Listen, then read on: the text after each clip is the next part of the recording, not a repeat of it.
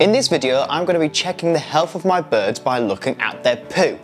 That's right, I'm going to be taking fecal samples, preparing them, and looking at them under a microscope. Now I have to say at the start of this video that I am not a vet, and if you're unsure on the health of your bird, then you should speak to your vet.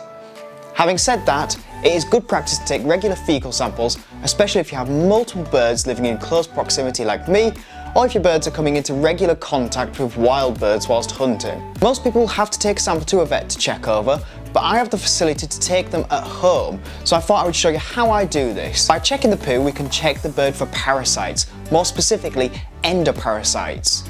Parasites can be split into two different categories, ecto and endoparasites. We can check for ectoparasites when we give the birds visual health checks and look at their feather condition, as this group of parasites live on the outside of the bird's body. End endoparasites, however, live inside the bird's body, and that's why it's important to check the feces. There are a few different types of endoparasite that can be found to infect birds of prey. These are flukes, also known as trematodes, roundworms, aka nematodes, tapeworms, alcestodes, and protozoa. Flukes are found in the intestinal tract and are rarely pathogenic. Fluke eggs are commonly seen in bird of prey mutes and no treatment is usually required. Roundworm infections can show clinical signs with enough numbers living in the host.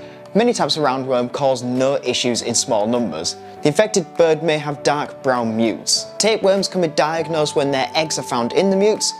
Like with most infections, the birds may appear low in condition when tapeworm eggs are present.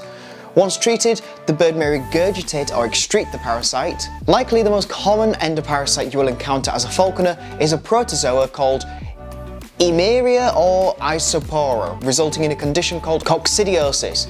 While clinical disease occurs after ingestion of large numbers of oocytes of coccidiosis, coccidiosis infections are often influenced by other stressors such as poor nutrition, poor sanitation, overcrowding, moving, or sudden changes in the feed and weather. Conditions such as coccidiosis can be treated easily and with good weight management and spending regular time with your hawk, it can be spotted somewhat early on. But that doesn't mean that you shouldn't only ever react to it when the infection hits. You should be monitoring these things to prevent infection from even occurring. And that means regularly checking mutes. I suggest at least every three months. So without further ado, let's go and collect some poo. Now to actually take the poo samples, I've got a bunch of these little vials and I've written all the birds' names on each one so I know which sample has come from which bird.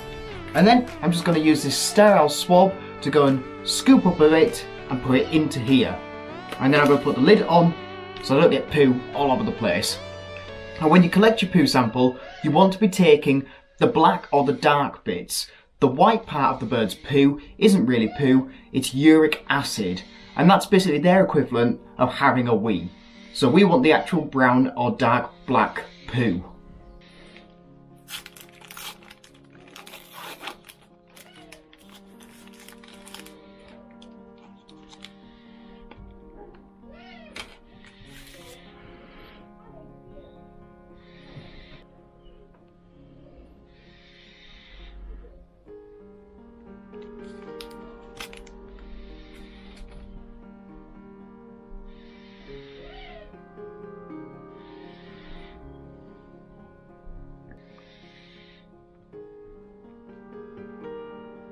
So we have collected the poo samples. This one is from Peggy the Harris Hawk. Now we have to prepare them to go on a slide so that we can look at them under the microscope. So to do that, I'm going to take just a very small piece of the poo. You really don't need a lot to do this.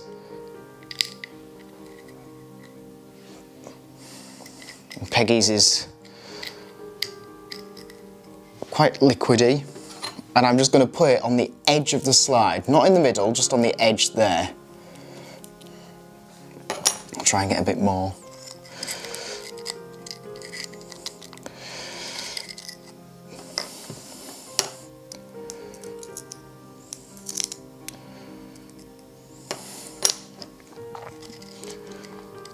And you will end up with whatever substrate you have in your sample as all of my birds are on sand, it makes it a little bit more difficult because I end up with a lot of sand in their poo sample, but I try my best to just take the samples from the, from the top so I don't get as much sand in.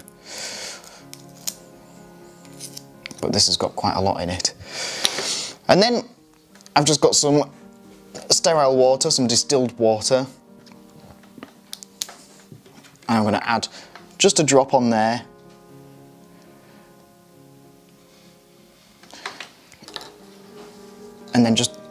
Mix it around a bit just to loosen it all up a bit.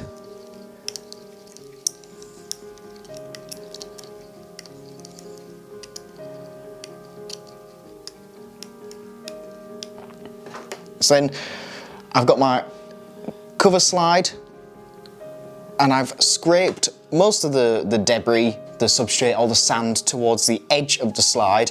And so I've just got the, the brown liquid part of the, the fecal matter mixed in with some of that distilled water. And what I'm gonna do is with the cover slip, I'm gonna take some of that water just on the edge, bring it to the middle, and then lay it down.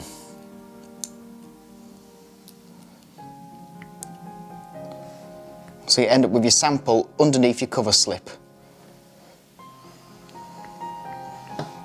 And then that can go in the microscope and we'll have a look.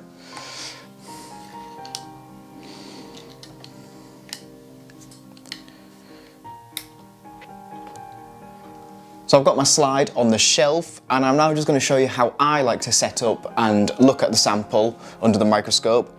I always start with the shelf um, as low down as it'll possibly go and on the furthest away, so the least magnification. And I'm going to take a look, you have to make sure it's set up for your eyes properly so you see just one nice big circle. And then I'm just going to slowly bring it up towards the microscope until it eventually comes into focus. I can then fine tune it so I can have a look even closer. And it should all focus sort of together in one go because we put the cover slip on so it should all be kept at a flat level. And then you can move around. I like to start at all of the, going around all the edges of the cover slip, looking for any signs of eggs which I can't see anything. This is a very clean sample. And then when you find something that you would like to look at in a bit more detail, then you can switch to a, switch to a higher magnification and then it just requires a little bit more fine tuning again. Now I tried filming into the eyepiece of the microscope to show you, but it was very difficult to get the camera to actually see anything, and to be honest, it looks a bit like Saturn. That's the best I could do. And thankfully in all of my samples I couldn't find anything. Good for me and my birds, not good for this video because it means I can't show you what anything looks like and what to look for. It makes sense that I can't find anything though, as all my birds are in good health and their feces is checked periodically, meaning I can react before anything gets out of hand. But that doesn't mean it can't happen. Parasitic infection is something I have had to deal with in the past with Sky. The first thing I noticed was a drop in weight.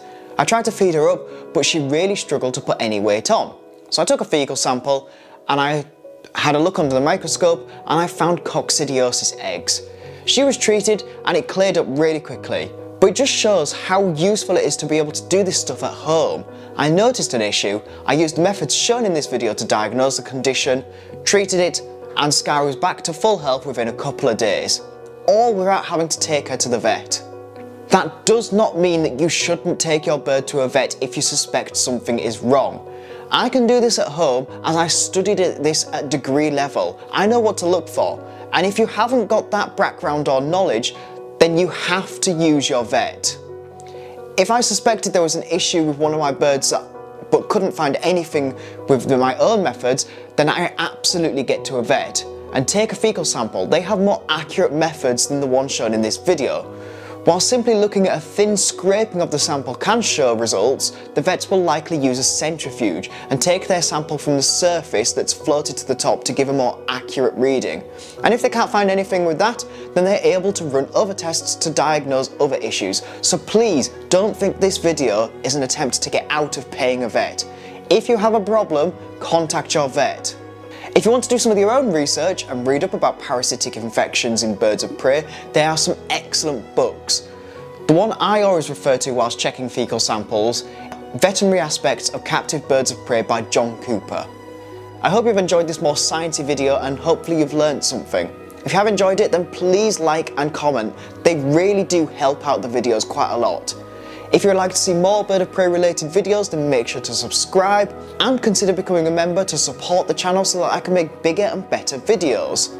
And as always, thank you for watching.